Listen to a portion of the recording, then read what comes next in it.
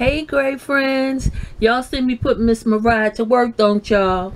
I want to see if uh, Miss how uh, cool Miss Mariah is. So I'm going to keep her on for a little while. Well, you know it's spring and it's spring cleaning time, right?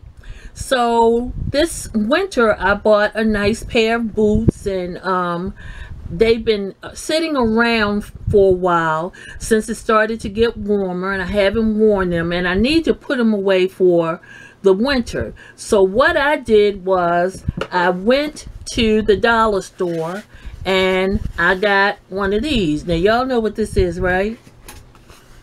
Hmm? Yeah, it's a noodle, a noodle that the children use uh, uh, for swimming. They play with it. So what I did was I took my boot and I zipped it all the way down.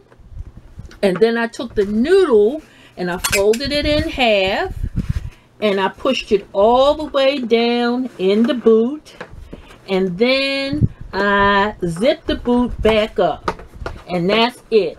And the way it turned out is like this. All done all zipped up. Uh-huh.